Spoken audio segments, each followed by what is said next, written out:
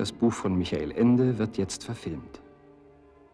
Radost Bokel als Momo und Cassiopeia als treue Begleiterin. Armin Müller-Stahl als Chef der Grauen Männer. Mario Adolf als Nicola der Maurer. Leopoldo Trieste als Beppo der Straßenkehrer. Ninetto Davoli als Nino der Wirt. Bruno Stori als Gigi und John Huston als Meister Hora.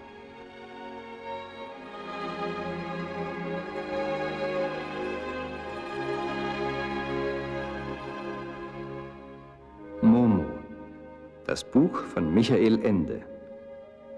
Momo, der Film von Johannes Schaaf.